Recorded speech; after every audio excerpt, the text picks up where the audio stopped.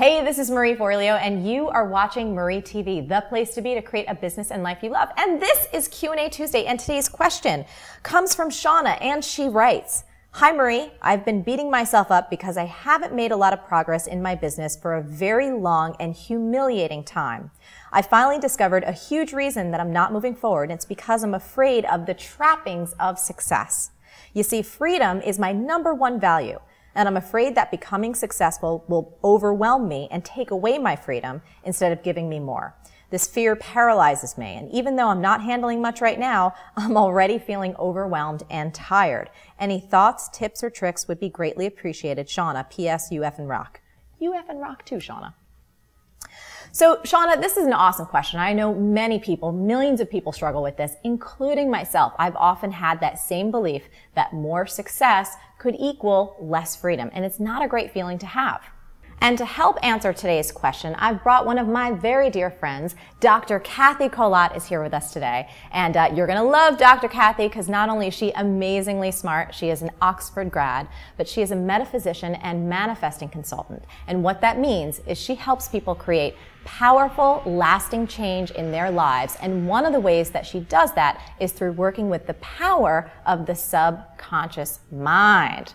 Ooh, this is so good, woman. This is so yeah. good. Thank you so much, first so of all. happy to be here. For being on Marie TV. So um, it sounds like Shauna is having a little bit of trouble between what she consciously wants, which is growing her business, and it sounds like she has a fear of success. Is that what you heard? Definitely sounds that way, right? So we can we can hear the tension or the major conflict between her conscious goal, building a successful business, and her subconscious fears about how that might limit her freedom. So Cathy, tell us why our subconscious minds have so much power over us. Well, the reason is, is it's estimated that approximately about 3% of your processing power is your conscious mind. The rest of it, the other 97%, subconscious, autonomic, automatic, you don't think about how you digest food. You don't normally think about how you breathe. All your habits go on automatic pilot. So by far, our greatest processing powerhouse is our subconscious mind. Scientists will tell you that the power of the subconscious is perhaps a million times greater of the conscious, than the conscious mind. That's amazing. A million times greater. Yeah. And the point of that is not to say that your ego and your will are weak. They are extremely powerful. The point is to recognize that as powerful as they are, there exists an asset within us that is even more powerful than that. So that's why I work with the subconscious mind and why I encourage other people to get their subconscious mind on board in trying to make what they want happen in their lives. We normally try to make what we want happen through our conscious determination and our ego and our sweat, blood, and tears, right. which is tough going as is. And I'm very familiar with that, which right. you've helped me with. Right. So, but especially when it's going over and against something in the other 97%, it becomes a task of Sisyphean proportions. You remember Sisyphus, right? The king in Greek mythology who was punished to an eternity of rolling a boulder up a hill, right, only like, to mm-hmm. watch it roll back down again. Right. So this is a version of what Sean is experiencing. Her, her, rather, her conscious mind might be saying, "I want success." Right. Hopefully, it is also saying, "I am worthy of success." But if something in the other 97% say thinks otherwise, I don't want success, that's what she's going to be getting or manifesting at minimum, she's going to find her somewhere on that Sisyphean mountain, trying to push her boulder named success up to the top or prevent the backslide. So, Cathy, if your subconscious mind is that powerful, it almost seems like it's the boss, and like Shauna would almost need like her boss's approval to sign off on something that she wants. Is that right? I see why you would say that because at a power a million times greater than the conscious mind, it's clear who's going to win, right? Right. But the truth is that Shauna is meant to be the boss. She's meant to be you know, she's meant to manage this asset, this most effective, powerful, and efficient employee by giving it good and clear direction. So if you think of your subconscious as a, a computer, right. you understand that it's going to take its programming and run with it. Right. And it's your job to make sure that its programming is in functional, if not optimal, alignment with your goals. And you do this by programming, reprogramming, and debugging at regular intervals and in concert with those goals as you become aware of them, as they change, and so on. So the great news is that once you get your subconscious on board, mm-hmm. that Sisyphean mountain turns into a molehill. Much like instituting your habits, you don't actually even institute them. Doesn't take a lot of thought, doesn't take a lot of effort. You just kind of do them. That's the power of your subconscious mind, and that's the power of the asset that we're all born with. And your job as president and CEO of yourself and your life is to get the most out of this most dependable and capable employee that you will ever have at your disposal. So it's much, it's much less about asking for permission Yeah. than it is about gaining mastery and being adept. Cathy, this is so exciting, and I love talking about this with you. So it sounds like that Shauna really can get her subconscious mind in alignment with her conscious goals. And I know because you and I have worked together and how brilliant you are, that you give people very clear steps. So can you share with us the clear steps to get your subconscious mind in alignment with your conscious goals? Sure. So, step one after you recognize the resistance is to be humble. Don't assume you know anything, let alone everything about your resistance. You want to trust the subconscious long enough to learn from it. You want to trust that it is something intelligent and wise to say, because it does. Uh, Shauna's, for example, is reminding her of her non negotiable desire for freedom.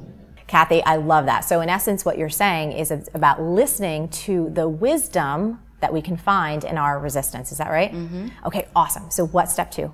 So, step two is to get specific.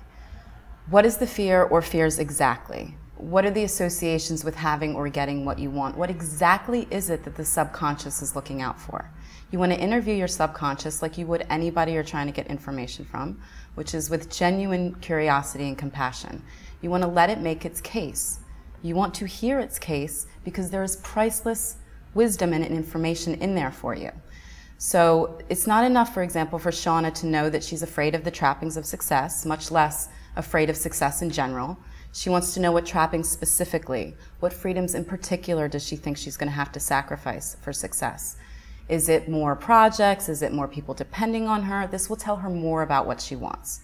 So step two is to get details and applaud whatever you find. Applaud it before you judge it. Because you, you know, what you normally associate with you is by far not the smartest thing within you. The next step, step three, would then be to make a promise, right? You want to set the intention to work it out with your subconscious, not to work against it. I love that. So Shauna's fear is saying to her, look, I'm afraid that if you become successful, you're going to be tied to your desk, you're going to be on the phone all day, you're going to be even more stressed out and strapped out, have no fun, have no time for family and friends and love and everything else you want in life. Right. Shauna, uh, Shauna can make her fear a, non, a non-issue by making a promise. Listen, friend, I hear you, I understand what you're saying, and I really appreciate you looking out. If greater success means greater strain, more exhaustion, having less freedom and time for myself in my life, I won't do it. I will only do it if that's not what it means. I promise. And then, of course, she wants to be a good partner in crime for herself to rely on, which Right. means to keep her promise.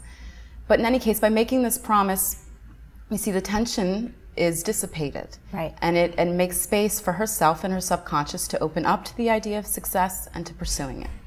Cathy, this is so delicious, and I'm just, I like want to eat you up right now. And what I'm hearing you say is through making the promise, it's about honoring what is truly important to ourselves and making a commitment to ourselves to really honor that wisdom and honor what we truly want in our lives. So, what's step four? Step four is to get examples. So, evidently, Shauna's subconscious has a lot of uh, negative examples about what happens when you become successful.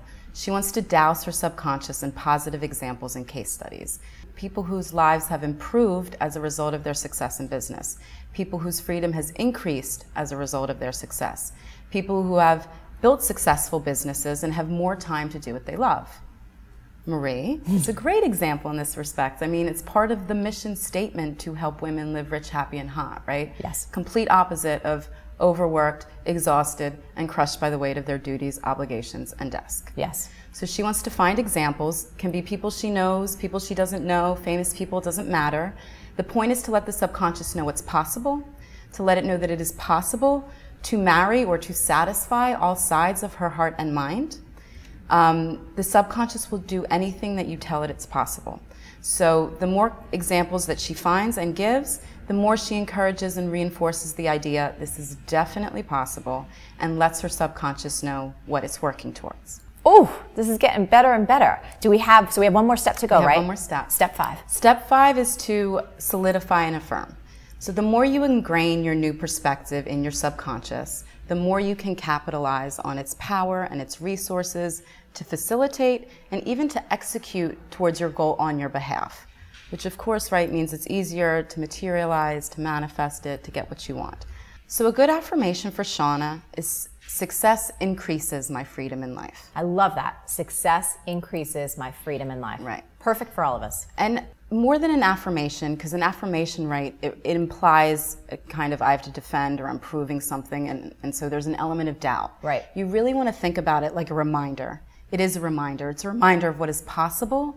It will also serve as a reminder of the road, the only road in light of the promise that she's made above, that she is taking.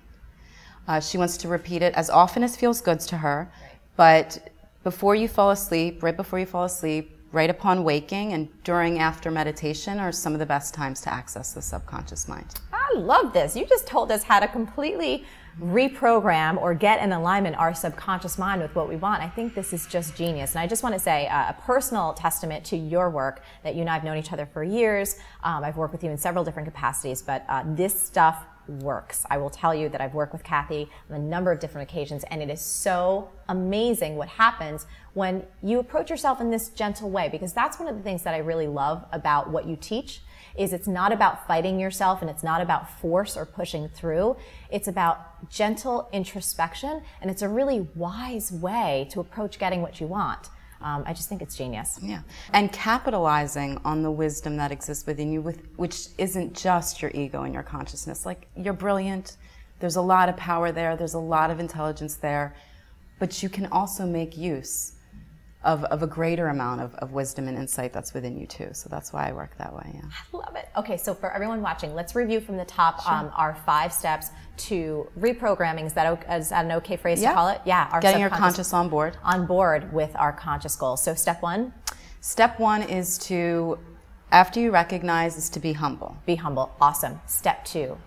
Get specific. Get specific. So we want to get the specific details about what that fear is and really interview our subconscious and know specifically what, what those fears are. Mm-hmm. Step three. Step three is to make a promise. Mm-hmm. So make a commitment to yourself that you're not going to go there if it's going to mean uh, all those bad things that perhaps you were afraid of. You're only going to get the thing that you want in the way that's going to feel the best for you and it's going to be in alignment. Right. Step four. Step four is to find examples. Find examples. Exemplary so, examples. Exemplary examples. I love that. That's really key. So really look around, and we can look around to anyone, whether it's figures in history, someone we know, someone we don't know. You can even be the first example on this planet to do it that way and I and I really do encourage people to do so so that they provide an example for the rest of us. Very cool. So that was step four and step five. Step five is to solidify and affirm. Solidify and affirm, and you said some of the best times to do that are before we go to bed, or after, or before meditation. Yeah, or right upon waking. Awesome. Mm-hmm. Very, very good. Cathy, this was amazing. I could listen to you all day, and I'm sure that we're going to have you back on Marie TV. So thank you so much for being here and thank for helping so Shauna much.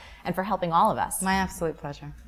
So now Cathy and I would love to hear from you. We want to know, have you ever had a fear of success or a fear of anything? And tell us, what is that fear really reminding you of that you really, really want? What's the wisdom contained in that fear? And remember, the best discussions always happen after the episode at marieforleo.com. And we're both going to be looking out for your answers in the comments. So leave a comment there. Did you like this video? If so, subscribe and share it with your friends. And if you want even more great insights to create a business and a life you love, plus some personal insights from me that I only share in email, get your butt over to marieforleo.com and sign up for email updates. Stay on your game, keep going for your dreams because the world needs that special gift that only you have. Thank you so much for watching Marie TV, and I'll catch you next time. Hey, RHH Live is coming up. Are you coming? Go to rhhlive.com for details. On video shoots, we got cinder blocked. No no cinder blocking, and no chest air. Thank you.